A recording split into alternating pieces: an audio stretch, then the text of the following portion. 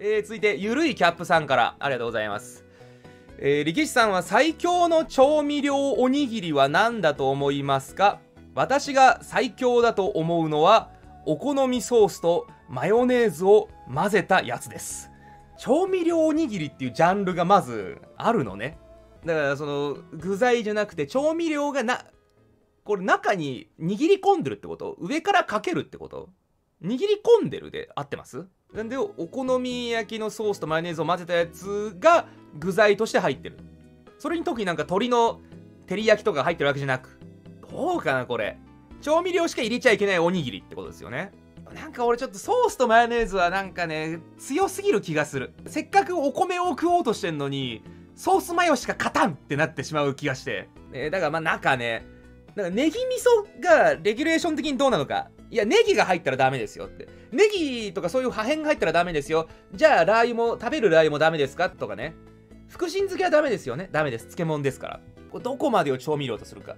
で固形ある程度 OK だったら俺はやっぱ山わさびとかにしたいな。ホースラディッシュ的なやつ。あれの醤油漬けみたいなのでもこれも漬物か。さすがに練りわさびはしんどいからね。練りわさびを直はしんどいし辛すぎるしなんか風味が落ちて。嫌になりそう。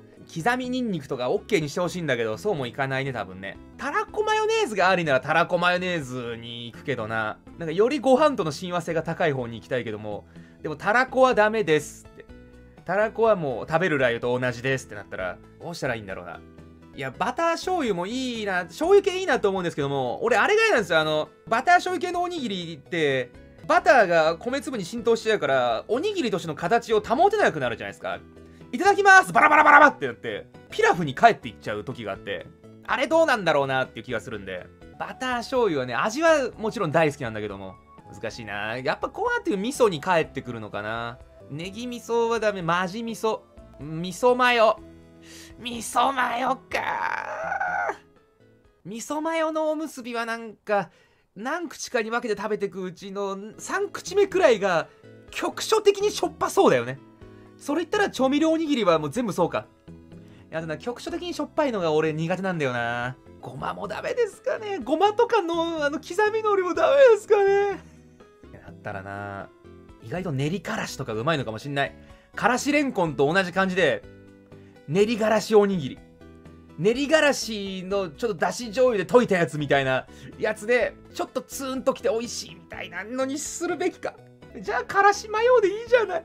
ダメだ、マヨネーズに、マヨネーズに勝てないんだよ。マヨネーズに勝てない。ダメだ。なんだろうな。ちょ、正解が出ませんけども、結局味噌マヨかな、今んとこな。うん。